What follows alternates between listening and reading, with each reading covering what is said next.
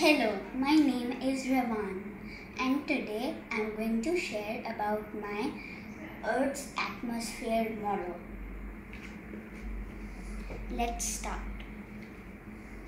The blue and green um, cir- um, circle is for the Earth. The green is for the land and the blue is for the water. The first layer of the atmosphere is the troposphere. It is around 15 kilometers thick. This is the layer where you fly in an aeroplane and see most clouds and also see hot air balloons. The second layer of the atmosphere is a stratosphere and this this layer is 50 kilometers thick. This layer has the ozone layer this is the layer where you see jet planes and um, weather balloons. And one more thing, as the layers go up and up, the temperature decreases and it's very cold.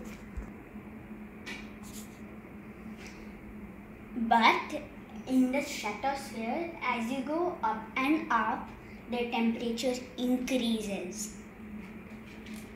Now let's talk about the third layer in the atmosphere, the mesosphere. This layer is around 50 kilometers thick, and this is the layer when where most meteoroids burn up. There are some meteoroids here. The now, the fourth layer of the atmosphere, the thermosphere. This layer is around 640 kilometers thick.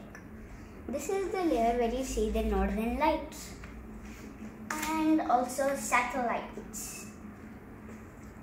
Now, let's talk about the last and the final layer of the atmosphere, the exosphere. This layer is around 10,000 kilometers thick.